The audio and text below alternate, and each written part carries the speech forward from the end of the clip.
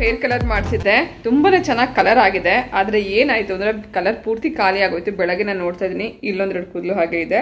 ಇಲ್ಲೊಂದೆರಡು ಕೂದಲು ಬಿಳಿ ಕೂದಲು ಹಾಗೆ ಇದೆ. ಇಲ್ಲಿ ಕಾಣಿಸ್ತಾ ಇಲ್ಲ. ನಂಗೆ ಬೆಳಗ್ಗೆ ಮಿರರಲ್ಲಿ ಕಾಣಿಸ್ತು. Hi all welcome back welcome to Suji's lifestyle ಹೇಗಿದ್ದೀರಾ?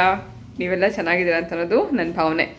Priya back to back back to back ice cream change ಮಾಡ್ಕೊಂಡು ತಿಂತಾ ಇದ್ದಾಳೆ. ಎಲ್ಲದನ್ನು ಟೇಸ್ಟ್ ಮಾಡ್ಕೊಂಡು ಟೇಸ್ಟ್ ಮಾಡ್ಕೊಂಡು. ಚಾಕ್ಲೇಟ್ ಖಾಲಿ ಆಯಿತು. ಓಡಿಯೋ ಖಾಲಿ ಆಯಿತು. ಇವಾಗ ಅದ್ಯಾವುದು? Black forest black currant black currant black forest black currant ಇದು ಐಸ್ ಕ್ರೀಮ್ ತಿಂತಾ ಇದ್ದಾಳೆ. ನಾನು ಹಾಕಿರುವಂತ ಕಲರ್ ಏನಿದೆ? ಅದು ಬರ್ಗಾಂಡಿ ಕಲರ್ ಫಸ್ಟ್ ಟೈಮ್ ಪ್ರಿಯಂಕನೆಲ್ಲ ಈ ಸರ್ತಿ ಪೂರ್ತಿ ಕೂದಲಿಗೆ ಹಚ್ಕೊಂಡಿದ್ದೆ. ಮೊದಲು ನಾನು ಬರೀ ನನಗೆ ಇಲ್ಲೆಲ್ಲ ಫ್ರಂಟ್ ಅಲ್ಲಿ ಮಾತ್ರನೇ ಗ್ರೇ ಹೇರ್ ಸ್ಟಾರ್ಟ್ ಆಗಿದ್ದು. ಅಲ್ಲಿಗೆ ಮಾತ್ರ ನಾನೇ ಟಚ್ ಅಪ್ ಮಾಡ್ಕೋತಾ ಇದ್ದೆ. ಸೊ ಈ ಸರ್ತಿ ಪ್ರಿಯನ ಕೈಲಿ ಪೂರ್ತಿ ಕೂದಲಿಗೆ ಹಚ್ಕೊಳ್ಳೋಣ ಅಂತ ಹೇಳಿ ಪ್ರಿಯನ್ ಕೈಲಿ ಹಚ್ಕೊಂಡೆ. ನೋಡಿದ್ರೆ ಇದು ಇದು ಎರಡು ಕಡೆಗೂ ಎದ್ದು ಕಾಣೋ ಹಾಗೇನೆ ಬಿಳಿ ಕೂದಲು ಆ ಕಡೆ ಈ ಕಡೆ ಕಾಣಿಸ್ತಾನೆ ಇದೆ. ಪೂರ್ತಿ ಕಲರ್ ಖಾಲಿ ಆಗಿದೆ. ಈಗ ನನಗೆ ಇದಕ್ಕೋಸ್ಕರನಾದ್ರೂ ಮತ್ತೆ ಹೊಸದಾಗಿ ಇವಾಗ ಕಲರ್ ಬೈ ಮಾಡಬೇಕು. ಇದು ಯಾವುದೇ ಕೊಲಾಬ್ರೇಷನ್ ಅಂತೂ ಖಂಡಿತ ಅಲ್ಲ. ಈಗ ನಾನು ಹಚ್ಚಿರೋಂಥ ಕಲರ್ ಇದು. ಇದರ ಬೆಲೆ ಐನೂರ ಐವತ್ತು ರೂಪಾಯಿ. ಇದು ಲಾರಿಯಲ್ ಕಂಪ್ನಿಯದ್ದು ಹಾಗೆ ಇದರಲ್ಲಿ ನೋ ಅಮೋನಿಯಾ ಅಂತ ಕೊಟ್ಟಿರ್ತಾರೆ. ಅಮೋನಿಯಾ ಇರುತ್ತೆ, ಆದರೆ ಕಡಿಮೆ ಕ್ವಾಂಟಿಟಿನಲ್ಲಿ ಇರುತ್ತೆ. ಹಾಗೆ ಇದು ಇಪ್ಪತ್ತೆಂಟು ಸತಿ ಏನು ಶಾಂಪು ಹಾಕಿ ವಾಶ್ ಮಾಡಿದ್ರು ಹೋಗಲ್ಲ ಕಲರ್ ಅಂತ ಹೇಳ್ತಾರೆ. ಬಟ್ ಫ್ರೀಕ್ವೆಂಟ್ಲಿ ನಾವು ವಾರದಲ್ಲಿ ಅಟ್ಲೀಸ್ಟ್ ಒಂದೆರಡು ಸರ್ತಿ ತಲೆ ಸ್ನಾನ ಮಾಡಿದ್ರೆ ಸ್ವಲ್ಪ ಜಾಸ್ತಿ ದಿನದವರೆಗೂ ಕಲರ್ ಉಳಿಯುತ್ತೆ. ಪದೇ ಪದೇ ಹೇರ್ ವಾಶ್ ಮಾಡ್ತಿದ್ರೆ ಕಲರ್ ಯಾವುದೇ ಆಗಿದ್ರು ಆದರೂ ಬೇಗ ಹೋಗುತ್ತೆ. ಸ್ವಲ್ಪ ಡಾರ್ಕ್ ಬ್ರೌನ್ ಆಗಿ ಕಾಣಿಸುತ್ತೆ. ಸೊ ನಾನು ತುಂಬ ದಿನಗಳ ವರ್ಷ ಒಂದು ಎರಡು ಮೂರು ವರ್ಷದ ಹಿಂದೆ ನಾನು ಈ ಬರ್ಗಂಡಿ ಕಲರ್ ಹಾಕಿದ್ದೆ. ಅದಾದಮೇಲೆ ಅಮ್ಮ ಒಂದ್ಸರ್ತಿ ಏನಕ್ಕೆ ಈ ಥರ ಹಿಂಗೆ ಇಷ್ಟೊಂದು ಡಾರ್ಕ್ ಕಲರ್ ಹಾಕೊಂಡಿದ್ಯಾ? ಅಂತಂದರು. ಅದಾದಮೇಲೆ ಮತ್ತೆ ಬ್ಲ್ಯಾಕ್ ಚೇಂಜ್ ಮಾಡಿದ್ದೆ. ಬ್ಲ್ಯಾಕ್ ನಾನು ಆಗಲೇ ಎರಡು ಮೂರು ಥರ ಚೇಂಜ್ ಮಾಡಿ ಉಪಯೋಗಿಸಿದ್ದೀನಿ ಮೆಹಂದಿ ಹಾಕ್ತಾ ಇದ್ದೆ ಫಸ್ಟು. ನೂಪುರ್ ಮೆಹಂದಿ ತುಂಬಾನೇ ಚೆನ್ನಾಗಿ ವರ್ಕ್ ಆಗ್ತಿತ್ತು ನನಗೆ ನನ್ನ ಕೂದಲು ಕೂಡ ತುಂಬಾ ಚೆನ್ನಾಗಿ ಬೆಳೀತಿತ್ತು ಥಿಕ್ಕಾಗಿತ್ತು ಮೇನ್ ಒಂದು ಡಿಸ್ಅಡ್ವಾಂಟೇಜ್ ಏನೇ ಅಂತ ಅಂದ್ರೆ ಅದರಲ್ಲಿ ಎಲ್ಲೆಲ್ಲಿ ಗ್ರೇ ಹೇರ್ ಇದೆ ಅದನ್ನ ಮಾತ್ರ ಎದ್ದು ಕಾಣೋ ಹಾಗೆ ಕಲರ್ ಕಾಣಿಸುತ್ತೆ. ಮಿಕ್ಕಿದೆಲ್ಲ ಬ್ಲ್ಯಾಕ್ ಹೇರ್ ಹೆಂಗಿತ್ತು ಹಂಗೆ ಇರ್ತಿತ್ತು. ಇವಾಗ ನಾನು ಹಾಕಿರೋ ಕಲರ್ ಏನಂದ್ರೆ ಈವನ್ ಆಗಿ ಎಲ್ಲದಕ್ಕೂ ಒಂದೇ ತರ ಕಲರ್ ಕಾಣಿಸುತ್ತೆ. ಪಾಪ ಒಂದ್ರ ಮಧ್ಯಾಹ್ನ ಆಗಲೇ ಊಟ ಟೈಮ್ ಆಗೋಗಿದೆ ಸೊ ಇವಾಗ ಗ್ರೇ ಹೇರ್ ಏನಿದೆ, ಅದು ಕಲರ್ ಕಲರ್ ಕವರ್ ಆಗಿ ಬ್ರೌನ್ ಕೂಡ ಕಾಣಿಸ್ತಾ ಇದೆ. ನೂಪುರ್ ಮೆಹಂದಿ ಚೆನ್ನಾಗಿದೆ. ಮೆಹಂದಿ ಟ್ರೈ ಮಾಡೋರ್ಗಾದ್ರೆ ನೂಪುರ್ ಮುಂದೆ ಮೆಹಂದಿ ಚೆನ್ನಾಗಿದೆ. ಇವಾಗ ಇನ್ನು ಗ್ರೇ ಹೇರ್ ಸ್ಟಾರ್ಟ್ ಆಗಿದೆ. ಮೆಹಂದಿ ಹಾಕೋಬಹುದು ಅದರಲ್ಲಿ ದಾಸವಾಳ, ಹಾಗೆ ಏನು ಮೇನ್ ಮೆಹಂದಿ, ಏನು ಲೀವ್ಸ್ ಎಲ್ಲ ಸೇರಿಸಿ ಮಾಡಿರ್ತಾರೆ. ತುಂಬಾನೇ ಚೆನ್ನಾಗಿದೆ. ಕೂದಲು ಕೂಡ ಬೆಳೆಯುತ್ತೆ. ಕೂದಲು ಉದ್ರಲ್ಲ. ಇನ್ನೊಂದು ಬಯೋ ಆರ್ಗ್ಯಾನಿಕ್ ಅಂತ ಇನ್ನೊಂದಿದೆ. ಅದನ್ನ ನಾನು ಟ್ರೈ ಮಾಡಿದ್ದೆ. ಸೊ ಅದರಲ್ಲಿ ನನಗೇನು ಅಷ್ಟೊಂದೇನು ಯೂಸ್ ಆಯ್ತು ಅಂತ ಅನ್ಸಿಲ್ಲ. ಬೇಗನೆ ಕಲರ್ ಹೊಟ್ಟೋಗುತ್ತೆ ಹಾಗೆ ಬೇಗ ಗ್ರೇ ಎದ್ದು ಕಾಣುತ್ತೆ. ಈ ಗ್ರೇ ಹೇರ್ನ ಕವರ್ ಮಾಡಕ್ಕೆ ಎಷ್ಟೆಲ್ಲ ಪ್ರಯತ್ನ ನಾನು ಮಾಡ್ತಾ ಇದ್ದೀನಿ ಅಂದ್ರೆ ಒಂದಲ್ಲ ಎರಡಲ್ಲ ಮೂರು ಟ್ರೈ ಮಾಡಿದ್ದೀನಿ. ಓ ಇವಾಗ ನೋಡ್ತಾ ಇರ್ಬೋದು ನೀವು. ಎಷ್ಟು ಚೆನ್ನಾಗಿ ಕಲರ್ ಎಲ್ಲ ಕವರ್ ಆಗಿದೆ ಗ್ರೇ ಹೇರ್ ಎಲ್ಲ. ನಮ್ ಒಂದು ಅಟ್ಲೀಸ್ಟ್ ನಾವು ವಾರದಲ್ಲಿ ಎರಡು ದಿನ ತಲೆ ಸ್ನಾನ ಮಾಡಬೇಕು. ಪದೇ ಪದೇ ತಲೆ ಸ್ನಾನ ಮಾಡ್ತಿದ್ರೆ ಬೇಗ ಕಲರ್ ಹೊಟ್ಟೋಗುತ್ತೆ ಸೊ ಇದು ಇವತ್ತು ನಾನು ಹಚ್ಕೊಂಡು ತೋರಿಸಿದ್ದೀನಿ ಕಲರ್ ಇದು. ಇವಾಗ ನಾನು ಚೇಂಜ್ ಮಾಡಿರೋ ಕಲರ್ ಯಾವುದು ಅಂತ ಹೇಳಿ. ಬನ್ನಿ ಊಟಕ್ಕೆ ರೆಡಿ ಮಾಡಬೇಕು ಅವರಿಗೆ. ಊಟ ಮಾಡಿದ ನಂತರ ಮೀಟ್ ಮಾಡಿ ಮಾತಾಡಿಸ್ತೀನಿ. ಇವತ್ತು ರಥಸಪ್ತಮಿ. ಹಾಗೆ ವಿಶೇಷವಾಗಿ ಕೆಲವು ಅಡುಗೆಗಳನ್ನ ಕೂಡ ನಾನು ಮಾಡಿದ್ದೆ. ಅಷ್ಟೇ ಅಲ್ಲ ಇದೊಂದು ಡಯಟ್ ಥಾಲಿ ಅಂತಲೇ ಹೇಳ್ಬೋದು. ಇನ್ನು ಮುಂದೆ ಇವರಿಗೆ ಮಧ್ಯಾಹ್ನದ ಊಟದಲ್ಲಿ ಇದೆಲ್ಲವೂ ಕಂಪಲ್ಸರಿ ಇರಲೇಬೇಕು. ಅದು ಬೆಂಡೆಕಾಯಿ ಪಲ್ಯ, ಹಾಗಲಕಾಯಿ ಪಲ್ಯ, ಹಾಗೆ ಯಾವುದಾದ್ರು ಒಂದು ಸಾರು, ಮುದ್ದೆ. ಅದ್ರ ಜೊತೆಗೆ ಕಂಪಲ್ಸರಿ ಒಂದು ಕಪ್ಪಷ್ಟು ಮಜ್ಜಿಗೆ. ಸಮ್ಮರ್ ಶುರುವಾಗ್ತಿದೆ ಅಂತಂದರೆ ಪ್ರತಿದಿನ ಎಲ್ಲರೂ ತಗೊಳ್ಳೇಬೇಕಾಗಿರೋದು ಮಜ್ಜಿಗೆ. ಎಷ್ಟು ಮಜ್ಜಿಗೆ ಕುಡಿತೀವೋ ಅಷ್ಟು ಒಳ್ಳೆಯದು ಅಂತ ಹೇಳ್ತಾರೆ. ಸೊ ಇವತ್ತಿನ ವಿಶೇಷ ಅಡುಗೆಗಳಲ್ಲಿ ನಾನು ಮಾಡಿದ್ದು ಇದು. ಹಾಗೆ ಚಳಿಗಾಲ ಮುಗೀತು, ಇನ್ನೇನು ಬೇಸಿಗೆ ಶುರುವಾಗ್ತಿದೆ ಅಂತಂದರೆ ಅವರೆಕಾಳು ಸೀಸನ್ ಮುಗ್ದೋಗುತ್ತೆ ಅಂತ ಹೇಳಿ ಹಿತ್ಕವರೆಕಾಳು ಸಾರನ್ನು ಕೂಡ ಮಾಡಿದ್ದೆ. ಇವ್ರಿಗೆ ತುಂಬಾ ಇಷ್ಟ ಅಂತ ಹೇಳಿ. ಇವತ್ತಿನ ಹಬ್ಬದ ವಿಶೇಷ ಅಡುಗೆ ಅಂದರೆ ವಿಶೇಷ ಥಾಲಿ ನಮ್ಮದು ಇದು. ಸೊ ಹಿತ್ಕವರೆಕಾಳು ಸಾರಿನ ವಿಡಿಯೋ ನಾನು ಆಲ್ರೆಡಿ ಪೋಸ್ಟ್ ಮಾಡಿದ್ದೀನಿ ಹಾಗೆ ಬೆಂಡೆಕಾಯಿ ಪಲ್ಯ ಮತ್ತು ಹಾಗಲಕಾಯಿ ಪಲ್ಯ ಇದೆರಡನ್ನೂ ಕೂಡ ಮಾಡಿದ್ದೆ ಇವತ್ತಿನ ವಿಶೇಷವಾಗಿ ಒಂದು ಸ್ವೀಟ್ ರೆಸಿಪಿಯನ್ನು ನಿಮ್ಮ ಜೊತೆಗೆ ಶೇರ್ ಮಾಡ್ಕೋತಾ ಇದ್ದೀನಿ ಬನ್ನಿ ಇವತ್ತಿನ ದಿನನ ಆರಂಭ ಮಾಡೋಣ ನಿಮಗೆಲ್ಲ ನೆನಪಿರ್ಬೋದು, ನಾವು ಚಿಕ್ಕವರಿರುವಾಗ ಬಿದಿಗೆ, ತದಿಗೆ, ಚೌತಿ, ಪಂಚಮಿ, ಅಮಾವಾಸ್ಯೆ, ಪೌರ್ಣಮಿ ಇಂಥದನ್ನೆಲ್ಲ ನಮಗೆ ಕಂಠಪಾಠ ಮಾಡಿಸ್ತಾ ಇದ್ರು. ಹಾಗೆ ಪ್ರತಿಯೊಂದು ತಿಂಗಳಲ್ಲಿ ಬರುವಂಥ ಈ ಒಂದು ವಿಶೇಷ ಇನ್ನು ತಿಂಗಳುಗಳಲ್ಲಿ ಅದರದೇ ಆದಂಥ ಹಬ್ಬಗಳನ್ನ ಕೂಡ ಹೊತ್ತು ತರ್ತಾ ಇತ್ತು. ಹಾಗೆ ಪ್ರತಿಯೊಂದು ಹಬ್ಬಕ್ಕೂ ಅದರದೇ ಆದಂಥ ಹಿನ್ನೆಲೆ ಕೂಡ ಕಥೆಗಳ ಮೂಲಕ ನಮಗೆ ಚಿಕ್ಕವರಲ್ಲಿ ಹೇಳಿಕೊಡ್ತಾ ಇದ್ರು. ಪ್ರತಿ ವರ್ಷ ಹಬ್ಬಗಳು ಬರ್ತಿರುತ್ತೆ, ಹೋಗ್ತಿರುತ್ತೆ. ಆದರೆ ಈ ಹಬ್ಬಗಳ ವಿಶೇಷತೆ ನಾವು ತಿಳ್ಕೊಳ್ಳೇಬೇಕು. ಈಗ ಇವತ್ತು ಸೂರ್ಯನನ್ನ ನಾವು ಪೂಜೆ ಮಾಡುವಂಥ ದಿನ. ಆರೋಗ್ಯಂ ಭಾಸ್ಕರ ಆದಿಚ್ಛೇತ್ ಅಂತ ಹೇಳ್ತಾರೆ. ಅಂದರೆ ಸೂರ್ಯನಿಂದ ಕೂಡ ನಾವು ಆರೋಗ್ಯನ ಪಡ್ಕೋಬಹುದು. ಇಷ್ಟು ದಿನ ನಾವು ಚಳಿಗಾಲದಲ್ಲಿ ಚಳಿ ಅಂತ ಮುದ್ರಿಕೊಂಡು ಮಲ್ಕೋತಾ ಇದ್ವಿ. ಆದರೆ ಇನ್ಮುಂದೆ ಈ ರಥಸಪ್ತಮಿಯಿಂದ ಶುರುವಾಗುವಂಥ ಬೇಸಿಗೆ ಕಾಲ ಸೂರ್ಯನ ಬಿಸಿಲನ್ನ ಶಾಖನ ನಮ್ಮ ದೇಹಕ್ಕೆ ತಗೊಳ್ಳೋದ್ರ ಜೊತೆಗೆ ಆರೋಗ್ಯನ ಕೂಡ ತುಂಬುತ್ತಾ ಹೋಗುತ್ತೆ ಪ್ರತ್ಯಕ್ಷ ದೈವ ಅಂತಂದರೆ ಕಣ್ಣು ಕಾಣುವಂಥ ದೇವರು ಅಂತಂದರೆ ಅದು ಸೂರ್ಯ ಮತ್ತು ಚಂದ್ರ. ನಮಗೆ ಗಾಳಿ, ಬೆಳಕು ಹೇಗೋ ಸೂರ್ಯನ ಬಿಸಿಲು, ಹಾಗೆ ರಾತ್ರಿ ಹೊತ್ತಲ್ಲಿ ಚಂದ್ರನ ಬೆಳಕು, ಇದೆರಡೂ ಕೂಡ ನಮ್ಮ ದೇಹಕ್ಕೆ ಆರೋಗ್ಯನ ತುಂಬುತ್ತೆ. ಸೊ ರಾತ್ರಿ ಹೊತ್ತು ಬರುವಂಥ ಚಂದ್ರ ನಮಗೆ ವಿಟಮಿನ್ ಬಿ ಟ್ವೆಲ್ವ್ ಅಂತ ಅನ್ನೋ ಶಕ್ತಿಯನ್ನು ತೊಗೊಂಡು ಬಂದರೆ ಬೆಳಗ್ಗೆ ಹೊತ್ತು ಬರುವಂಥ ಸೂರ್ಯ, ಸುಡು ಬಿಸಿಲಾದರೂ ಕೂಡ ನಮ್ಮ ದೇಹಕ್ಕೆ ವಿಟಮಿನ್ ಡಿ ತುಂಬ ಅಂತ ಶಕ್ತಿ ಆ ಸೂರ್ಯನ ಬೆಳಕಲ್ಲಿದೆ. ಹಾಗಾಗಿನೇ ಯಾರಿಗೆ ವಿಟಮಿನ್ ಕೊರತೆ ಇರುತ್ತೆ ವಿಟಮಿನ್ ಡಿ ಕೊರತೆ ಇರುವಂಥವ್ರು ಸೂರ್ಯನ ಬಿಸಿಲಲ್ಲಿ ಹೋಗಿ ನಿಂತ್ಕೋಬೇಕು ಅಂತ ಹೇಳ್ತಾರೆ.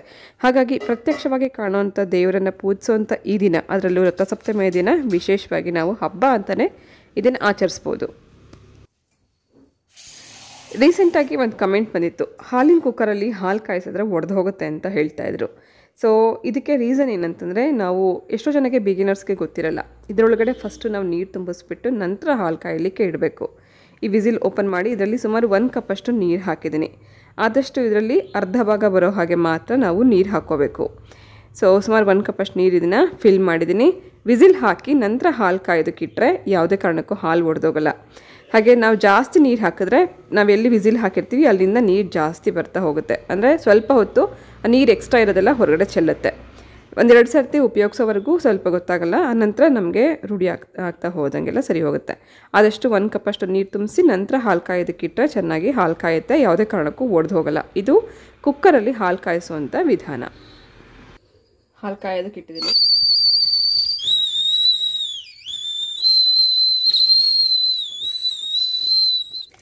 ಈ ರೀತಿ ಒಂದೆರಡು ನಿಮಿಷ ಅದು ಕೂಗುವವರೆಗೂ ವೆಯ್ಟ್ ಮಾಡಿ ನಂತರ ಸ್ಟವ್ ಆಫ್ ಮಾಡಬೇಕು. ಆಗ ಹಾಲು ಚೆನ್ನಾಗಿ ಕಾಯ್ದಿರುತ್ತೆ. ಯಾವುದೇ ಕಾರಣಕ್ಕೂ ಹಾಲು ಒಡೆದು ಹೋಗಲ್ಲ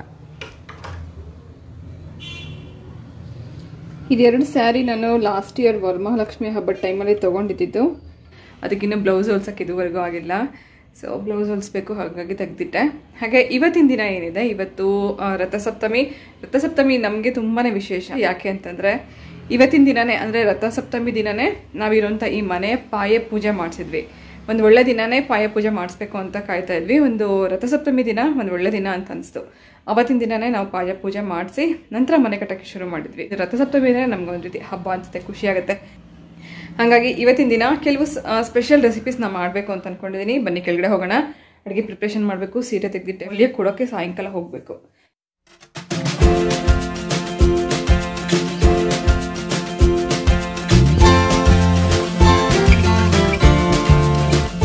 ಇವತ್ತಿನ ಅಡುಗೆ ಕೇವಲ ವಿಶೇಷ ಮಾತ್ರ ಅಲ್ಲ, ಒಂದು ಹೆಲ್ದಿಯಾಗಿ ಕೂಡ ನಾನು ಮಾಡ್ತಾ ಇದ್ದೀನಿ ಇದು ಟೋಫು.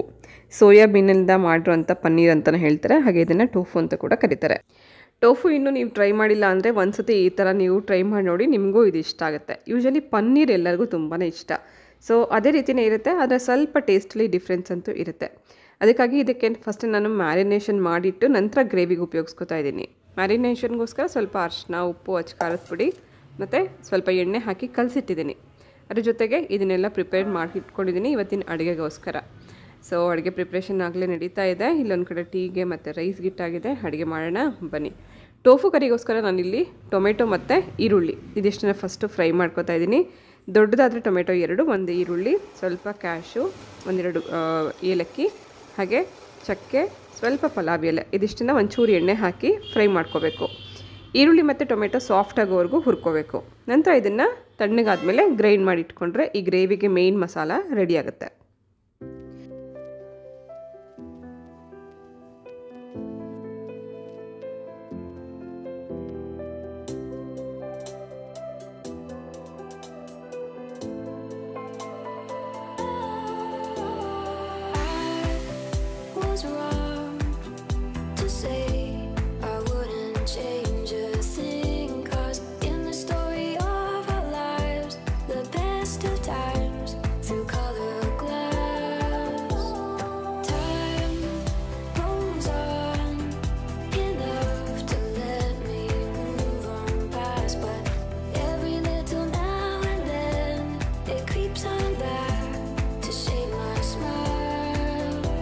ಪಾಲಕ್ ಪನ್ನೀರ್ ಮಾಡುವಾಗ ಹಸಿಯಾಗಿಯೇ ನಾವು ಪನ್ನೀರ್ನ ಹಾಗೆ ಕಟ್ ಮಾಡಿ ಹಾಕ್ತೀವಿ. ಏನು ಫ್ರೈ ಮಾಡದೆ ಕೂಡ ಹಾಗೂ ಹಾಕ್ಬಿಟ್ಟು ತಿನ್ಬೋದು.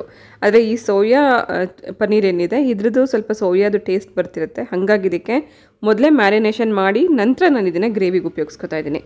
ಮ್ಯಾರಿನೇಟ್ ಮಾಡಿರೋಂಥ ಟೋಫುನ ಸ್ವಲ್ಪ ಹೊತ್ತು ಫ್ರೈ ಮಾಡ್ಕೊಳ್ಳೋಣ ಎಣ್ಣೆಯಲ್ಲಿ ಒಂದೇ ಒಂದು ಸ್ಪೂನ್ ಎಣ್ಣೆ ಹಾಕಿ ಎರಡೂ ಕಡೆ ಫ್ರೈ ಮಾಡ್ಕೊಂಡಿದ್ದೀನಿ.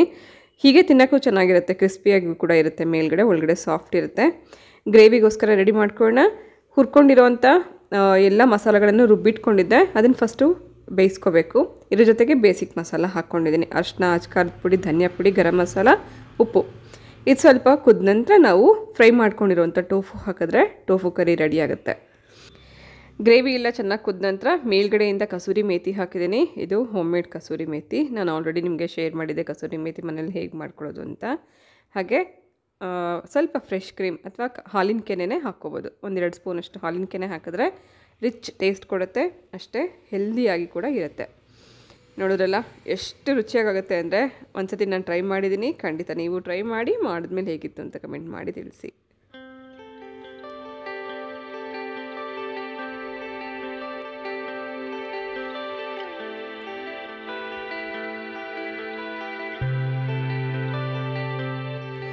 ಇದೇ ಫಸ್ಟ್ ಟೈಮ್ ಹಿತ್ಕವರೆ ಕಾಳು ಜೊತೆಗೆ ಆಲೂಗಡ್ಡೆ ಬದನೆಕಾಯಿ ಕೂಡ ಸೇರಿಸಿ ಮಾಡ್ತಾ ಇದ್ದೀನಿ.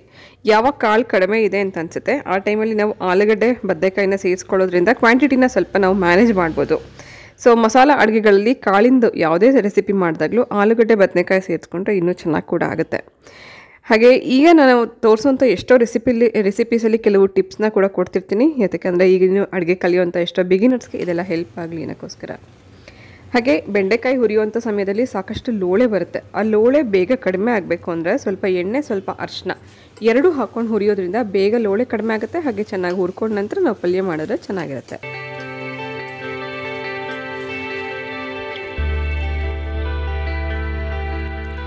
ಬೆಂಡೆಕಾಯಿ ಪಲ್ಯ ಮಾಡೋದಕ್ಕೆ ಫಸ್ಟು ಬೆಂಡೆಕಾಯಿ ಹುರ್ಕೊಂಡ ನಂತರ ಅದೇ ಬಾಂಡಿನಲ್ಲಿ ಒಂಚೂರು ಎಣ್ಣೆ ಮತ್ತು ಜೀರಿಗೆ ಒಗ್ಗರಣೆ ಮಾಡಿಕೊಂಡು ಒಂದು ಈರುಳ್ಳಿಯನ್ನು ಸಣ್ಣದಾಗಿ ಕಟ್ ಮಾಡಿ ಹಾಕ್ಕೊಂಡಿದ್ದೀನಿ ಇದು ಸ್ವಲ್ಪ ಸ್ವೆಟ್ಟಾಗೋವರೆಗೂ ಹುರ್ಕೊಂಡು ನಂತರ ಇದಕ್ಕೆ ಎರಡು ಟೊಮೆಟೊನ ಸಣ್ಣದಾಗಿ ಕಟ್ ಮಾಡಿ ಹಾಕ್ಕೊಂಡಿದ್ದೀನಿ ಟೊಮೆಟೊ, ಈರುಳ್ಳಿ ಇದೆರಡು ಸಾಫ್ಟಾಗಿ ನಂತರ ಮಸಾಲೆ ಹಾಕೋಣ. ಸ್ವಲ್ಪ ಅರಿಶಿನ ಸ್ವಲ್ಪ ಅಚ್ಕಾರದ ಪುಡಿ ಹಾಗೆ ಸ್ವಲ್ಪ ಜೀರಿಗೆ ಪುಡಿ ಹಾಕೋಬೇಕು. ಧನಿಯಾ ಪುಡಿ, ಗರಂ ಮಸಾಲ ಏನು ಬೇಡ ಇದಕ್ಕೆ. ಅಚ್ಕಾರದ ಪುಡಿ ಅರಿಶಿನ ಮತ್ತು ಜೀರಿಗೆ ಪುಡಿ, ಉಪ್ಪು ಇದಿಷ್ಟು ಹಾಕ್ಕೊಂಡ್ರೆ ಸಾಕು. ತುಂಬಾ ಟೇಸ್ಟಿಯಾಗಿರುವಂಥ ಬೆಂಡೆಕಾಯಿ ಪಲ್ಯ ರೆಡಿಯಾಗುತ್ತೆ ಇದೆಲ್ಲ ಹುರ್ಕೊಂಡ ನಂತರ ನಾವು ಹುರಿದಿರುವಂಥ ಬೆಂಡೆಕಾಯಿ ಸೇರಿಸಿ ಒಂದೆರಡು ನಿಮಿಷ ಮಿಕ್ಸ್ ಮಾಡಿಕೊಂಡ್ರೆ ಆಯಿತು. ಇದು ರೋಟಿಗೆ, ಚಪಾತಿಗೆ ಅಥವಾ ಅನ್ನ ಸಾರು ಜೊತೆಗೆ ನೆಂಚ್ಕೊಳ್ಳೋಕ್ಕೆ ಪಲ್ಯ ಥರನೂ ಮಾಡ್ಕೋಬೋದು. ತುಂಬಾ ಕಡಿಮೆ ಸಾಮಾನು ಇಡ್ಸತ್ತೆ, ಅಷ್ಟೇ ರುಚಿಯಾಗುತ್ತೆ.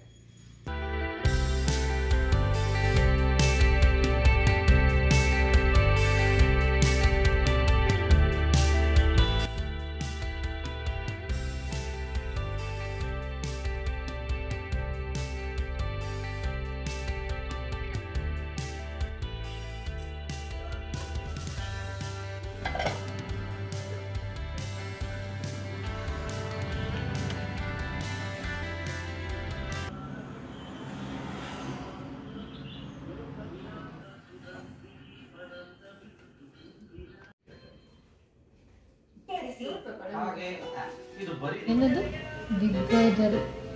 ದಿಗ್ಗಜ ಊಟಕ್ಕೆ ಬಂದು ಊಟ ಮಾಡಿ ರೆಸ್ಟ್ ಮಾಡಿ ಇನ್ನೇನು ಹೊರಡ್ತಾ ಇದ್ರು ದಿಗ್ಗಜರು ಮೂವಿ ಬಂದ ತಕ್ಷಣ ಹಂಗೆ ಕುತ್ಕೊಂಡ್ಬಿಟ್ರು. ಯಾಕೆ ಹೇಳಿ? ಅವರಿಬ್ರು ಇವರಿಗೆ ತುಂಬಾನೇ ಇಷ್ಟ ಆದಂತ ಏನೋ ಹೀರೋ ಅಂದ್ರೆ ಆಕ್ಟರ್ಸ್ ತುಂಬಾನೇ ಇಷ್ಟ. ಅವ್ರ ಮೂವಿನಲ್ಲಿ ಎಷ್ಟು ಇನ್ವಾಲ್ವ್ ಆಗ್ತಾರೆ ಅಂದ್ರೆ ಅಳ್ತಾ ಇರ್ತಾರೆ ಒಂದೊಂದ್ಸತಿ ಅಂತ. ಒಳ್ಳೊಳ್ಳೆ ಸೀನ್ ಬಂದಾಗ. ಇವಾಗ ಹೊರಟಿದವರು ಮತ್ತೆ ಕುತ್ಕೊಂಡು ಮೂವಿ ನೋಡ್ತಾ ಇದಾರೆ. ಎಷ್ಟ್ ಸತಿ ನೋಡಿದ್ರು ಬೇಜಾರಾಗಲ್ಲ. ಅಂಬರೀಶ್ ಅವ್ರದ್ದು ಮತ್ತೆ ವಿಷ್ಣುವರ್ಧನ್ದು ಕಾಂಬಿನೇಷನ್ ಹ್ಮ್. ಗೊತ್ತಿದ್ರು ನೋಡಿದ್ರು ಮೂವಿ ಅದು ಮತ್ತೆ ಮತ್ತೆ ನೋಡ್ಬೇಕು ಅಂತ ಅನಿಸ್ತಿರತ್ತೆ ಒಳ್ಳೆ ಆಕ್ಟರ್ಸ್ನ ಕಳ್ಕೊಂಡ್ಬಿಟ್ವಿ ಎಸ್ ಪಿ ಬಿ ಅವ್ರಿಲ್ಲ ವಿಷ್ಣುವರ್ಧನ್ ಇಲ್ಲ ಅಂಬರೀಷ್ ಇಲ್ಲ ಯಾವ ಬ್ಯಾಡ್ ಹ್ಯಾಬಿಟ್ಸ್ ಇಲ್ಲ ಅಂತಂದ್ರೂ ಅಟ್ಲೀಸ್ಟ್ ಅವ್ರದ್ದು ಹಾರ್ಟ್ ಅಟ್ಯಾಕ್ ಏನೋ ಆಯ್ತಲ್ಲ ಅವ್ರಿಗೆ. ಹ್ಞೂ ಹ್ಮ್. ಒಂದೇ ತಿಂಗಳಲ್ಲಿ ಎಷ್ಟೊಂದು ಜನ ಆ್ಯಕ್ಟರ್ಸ್ ಇದ್ದೀರ? ನಮ್ಮ ಕರ್ನಾಟಕದ ಪ್ರಸಿದ್ಧ ನಟರನ್ನು ನಾವು ಎಷ್ಟೊಂದು ಜನನ ಕಳ್ಕೊಂಬಿಟ್ವಿ. ಆ ದುಃಖ ಅಂತೂ ಎಲ್ಲರಿಗೂ ಇದೆ. ಆದರೆ ಈ ವ್ಲಾಗ್ನ ದುಃಖದಿಂದ ಎಂಡ್ ಮಾಡೋದು ಬೇಡ. ಒಂದು ಸಿಹಿಯಾದಂಥ ಸ್ವೀಟ್ ರೆಸಿಪಿ ಜೊತೆಗೆ ಎಂಡ್ ಮಾಡೋಣ. ಇವತ್ತು ನಾನು ನನ್ನ ಮಗಳಿಗೆ ಪಾಠ ಹೇಳ್ಕೊಡಕ್ಕೆ ಹೋದ್ನ ಅಥವಾ ನನ್ನ ಮಗಳೇ ನನಗೆ ಪಾಠ ಹೇಳ್ಕೊಟ್ಲ ಅನ್ನೋ ರೀತಿ ಇತ್ತು. ಸೊ ಈ ರೆಸಿಪಿನ ನಾನು ಪ್ರಿಯಿಂಗೋಸ್ಕರ ಹೇಳ್ಕೊಡ್ತಾ ಇದ್ದೆ. ಬಟ್ ನನಗೆ ಪ್ರಿಯ, ನನಗಿನ್ನೇನೋ ಒಂದು ಹೊಸ ಪಾಠ ಹೇಳ್ಕೊಟ್ಟಿದ್ದಾಳೆ. ಸೊ ಈ ರೆಸಿಪಿ ಮಾಡೋದಕ್ಕೆ ಮೊದಲು ಸಕ್ಕರೆ ಪಾಕ ಮಾಡ್ಕೋತಾ ಇದ್ದೀವಿ ಒಂದು ಕಪ್ಪಷ್ಟು ಸಕ್ಕರೆ, ಅದು ಮುಳುಗೋಷ್ಟು ನೀರು, ಸ್ವಲ್ಪ ಕೇಸರಿ ದಳಗಳು ಹಾಗೆ ಏಲಕ್ಕಿನ ಹೀಗೆ ಬಿಡಿಸಿ ಹಾಕಿದ್ದೀನಿ. ಸೊ ಕೇಸರಿ ಹಾಕೋದ್ರಿಂದನೂ ಒಂದು ಘಮ ಇರುತ್ತೆ, ಏಲಕ್ಕಿದು ಘಮ ಇರುತ್ತೆ, ಹಾಗೆ ಬಣ್ಣ ಕೂಡ ಚೆನ್ನಾಗಿ ಬರುತ್ತೆ. ಬ್ಯಾಟರ್ ಪ್ರಿಪೇರ್ ಮಾಡ್ಕೊಳ್ಳೋ ಸಕ್ಕರೆ ಪಾಕ ಆಗುವಷ್ಟೊತ್ತಿಗೆ. ಒಂದು ಕಪ್ಪಷ್ಟು ಮೈದಾ ಹಿಟ್ಟು, ಎರಡು ಟೇಬಲ್ ಸ್ಪೂನಷ್ಟು ರವೆ ತೊಗೊಂಡಿದ್ದೀನಿ. ಇದು ಬನ್ಸಿ ರವೆ. ಮೀಡಿಯಂ ರವೆ ನಾವು ಉಪ್ಪಿಟ್ಟಿಗೆ ಹಾಕುವಂಥ ರವೆ ಕೂಡ ಉಪಯೋಗಿಸ್ಕೋಬೋದು. ಇದ್ರ ಜೊತೆಗೆ ಮೂರು ಸ್ಪೂನಷ್ಟು ಸಕ್ಕರೆ ಪುಡಿ. ಸಕ್ಕರೆ ಪುಡಿನ ಹಾಕಿ ಮಾಡ್ಕೊಳ್ಳೋದ್ರಿಂದ ಸ್ವಲ್ಪ ಬೇಗ ಕರಗತ್ತೆ. ಸಕ್ಕರೆ ಮಿಕ್ಸಿನಲ್ಲಿ ಪೌಡರ್ ಮಾಡ್ಕೊಂಡಿರೋದು. ಪಾಕ ಈಗಾಗಲೇ ಆಲ್ರೆಡಿ ರೆಡಿಯಾಗಿದೆ ಜಾಮೂನ್ಗೆ ನಾವು ಹೇಗೆ ಪಾಕ ಮಾಡ್ಕೋತೀವೋ ಅದೇ ರೀತಿ ಪಾಕ ಆದರೆ ಸಾಕು. ಸೊ ಇದನ್ನು ಕೆಳಗಿಳಿಸಿ ಎಣ್ಣೆ ಬಿಸಿಗೆ ಇಟ್ಕೊಳ್ಳೋಣ. ಅಷ್ಟರಲ್ಲಿ ಬ್ಯಾಟರ್ ಪ್ರಿಪೇರ್ ಮಾಡ್ಕೊಳ್ಳೋಕ್ಕೆ ಕಾಲು ಸ್ಪೂನಷ್ಟು ಅಡುಗೆ ಸೋಡಾ ಅಥವಾ ಬೇಕಿಂಗ್ ಸೋಡಾ ಹಾಕೋಬೇಕು ಹಾಗೆ ಒಳ್ಳೆ ಘಮ ಬರುತ್ತೆ. ಇದನ್ನು ಹಾಕ್ಕೊಳ್ಳೋದೇ ಇಂಪಾರ್ಟೆಂಟ್ ಸೊ ಇದು ಸೋಂಫ್. ಒನ್ ಟೇಬಲ್ ಸ್ಪೂನಷ್ಟು ಸೋಂಫ್ ಹಾಕ್ತಾಯಿದ್ದೀನಿ ಸೊ ಇದು ಮಾಲ್ಪುವಾಗೆ ಮಾಡ್ಕೊಳ್ಳೋವಂಥ ಒಂದು ಪ್ರಿಪ್ರೇಷನ್ ಮಾಲ್ಪುವ ನಾವು ದಿಢೀರಾಗಿ ಇವಾಗಲೇ ಮಾಡಿಕೊಂಡು ಇವಾಗಲೇ ತಿನ್ನಬೇಕು ಅನಿಸಿದ್ರೆ ನಾವು ಬಿಸಿ ಹಾಲಿಂದ ಇದನ್ನು ಬ್ಯಾಟರ್ನ ಕಲಿಸ್ಕೋಬೇಕು. ಮೈದಾ ಹಿಟ್ಟು, ರವೆ, ಸಕ್ಕರೆ, ಹಾಗೆ ಏನು ಸೋಡಾ ಮತ್ತು ಸೋಂಫ್ ಇದಿಷ್ಟನ್ನು ಹಾಕಿ ಬಿಸಿ ಹಾಲು ಹಾಕಿ ಕಲಿಸ್ಕೊತಾ ಇದ್ದೀನಿ. ದಿಢೀರಾಗಿ ಮಾಡ್ಕೊಂಡು ತಿನ್ಬೇಕಂದ್ರೆ ಬಿಸಿ ಹಾಲು ಹಾಕೋಬೋದು ಸ್ವಲ್ಪ ಹೊತ್ತು ಲೇಟಾಗಿ ನಾವು ತಿಂತೀವಿ ಅಂದರೆ ತಣ್ಣೀರಲ್ಲಿ ಕಲಸಿಟ್ಟು ಅರ್ಧ ಗಂಟೆ ಬಿಟ್ಟ ನಂತರ ನಾವು ಮಾಲ್ಪುವ ಮಾಡ್ಕೋಬೋದು. ಮಾಲ್ಪುವ ಹೋಗ್ಬಿಟ್ಟು ಜಿಲೇಬಿ ಆಗಿದೆ Jalebi. Jalebi bun.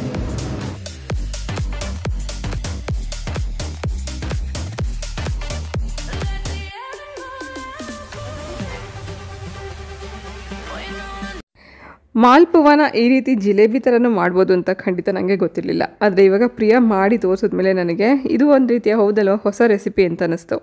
So malpua taste ಬರುತ್ತೆ, ಹಾಗೆ ನೋಡೋಕ್ಕೆ ಜಿಲೇಬಿ ಥರ ಇರುತ್ತೆ. ಇದೆರಡು ಬ್ಯಾಟರ್ ಪ್ರಿಪ್ರೇಷನ್ ಕೂಡ ಸ್ವಲ್ಪ ಹೆಚ್ಚು ಕಮ್ಮಿ ಹಾಗೇ ಇಲ್ಲಿ ನಾವು ಹಾಲು ಹಾಕಿ ಕಲ್ಸ್ಕೊಂಡಿದ್ದೀವಿ ಜಿಲೇಬಿಗೆ ಮೊಸರು ಹಾಕಿ ಕಲ್ಸ್ಕೋತೀವಿ. ಸೊ ಸ್ವಲ್ಪ ಹೆಚ್ಚು ಕಮ್ಮಿ ನೋಡಲಿಕ್ಕೆ ಹಾಗೆ ಟೇಸ್ಟ್ ಕೂಡ ಸೇಮ್ ಹಾಗೆ ಇರುತ್ತೆ. ಸೊ ಮಾಲ್ಪುವ ಟೇಸ್ಟಲ್ಲಿರುವಂಥ ಜಿಲೇಬಿ ರೆಡಿಯಾಗಿದೆ